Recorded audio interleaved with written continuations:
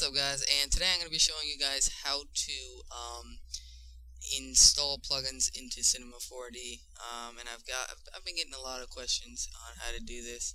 Um, and I got a lot before when I made a tutorial um, a long time ago actually. But yeah, so um, let's get on with the tutorial. What you're going to want to do first is actually download your uh, your plugin, and this is off of another video of mine.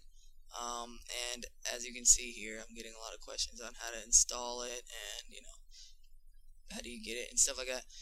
So the link is right here in the description. Um, now I'll put the link for Thrausi, which is uh, a nice plugin on how to. It's it's kind of like the destruction plugin if you've ever heard of that, but it's how to. Uh, it it uh, it has a nice way of shattering text. My bad, guys. Um, and so it um, looks a lot better than the uh, explosion effects in Cinema 4D that which which uh, comes with Cinema 4D. Um, and this plugin is actually absolutely free. So once you have your plug-in downloaded, it'll most likely be in a RAR file like this. Um, and what you're going to do is just go ahead and extract it to your desktop. And you have it right here. Um, and by the way, this works for any plugin, not just the Thrausi one that I'm using right now. So you're going to go ahead and go to your start orb, um, or if you're using uh, XP, just the start bar. Um, and you're going to go ahead and go to computer, and your C drive, which is your hard drive, un unless you have it onto an external hard drive, which most of you probably don't.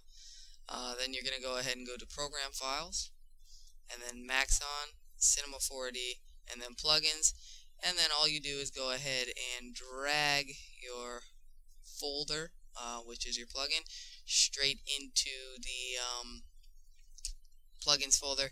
And this one will uh, say it's already there because obviously I already have it.